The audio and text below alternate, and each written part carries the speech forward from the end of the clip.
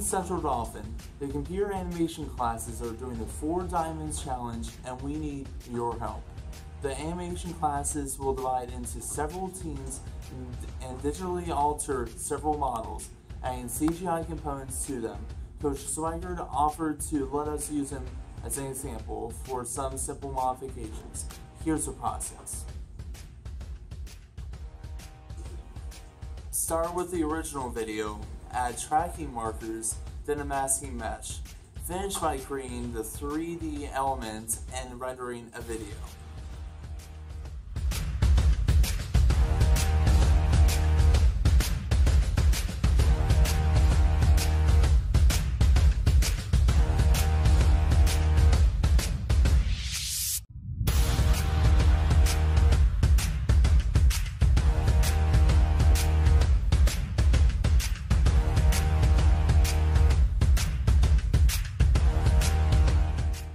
Teams will create their own 3D alterations over the next few weeks with the results being displayed again in a special report mid-January.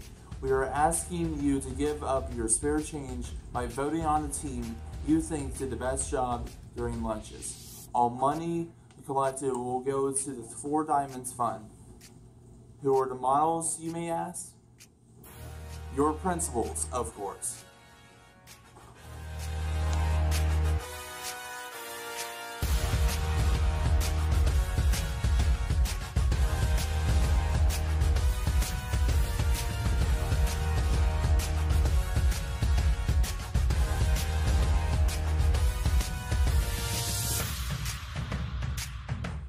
So we will be back in mid-January with results, and remember, it's all for the kids.